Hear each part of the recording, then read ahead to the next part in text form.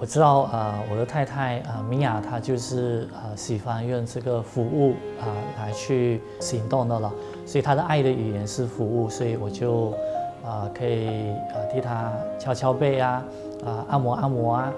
然后啊有时候也会叫她跟我一起去后面啊处理一些的种种一些东西啊，拔拔草啊。我觉得这是她很。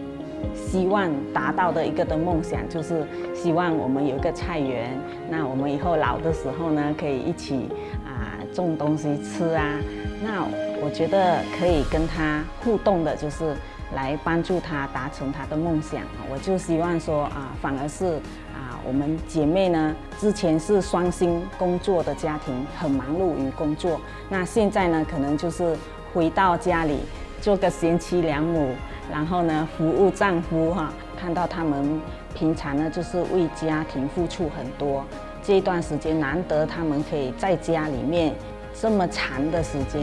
就鼓励他们，给他们休息的空间，也不去烦扰他们。这段时间就是真的是很好，很深入的可以逼自己去很深入的自己去放松，因为啊，如果你要做的话，你不能的。因为身边的人都没有做，所以你现在就是一个把它当成是一个很好的一个祝福，就是很深入的可以休息，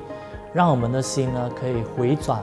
到孩子家里的人是远远是啊最重要的啊，家里的人远远是在一起的啊。其实我有跟一些姐妹分享啊，我说其实啊，孩子们很多全部挤在家里的时候呢，我会觉得说反而给我一个。压力在那边，因为我要看安排他们什么东西，要做什么东西呀，这样子，啊，但是也很难得然后在这一段时间的时候，啊，没有想到孩子没有事做的时候，他们就去啊找东西做，所以他们就去烤蛋糕啊、铺丁啊这些哈，是一个很好的互动啊。那这一段期间里面，我就叫了很多的，差不多有呃四五个家庭，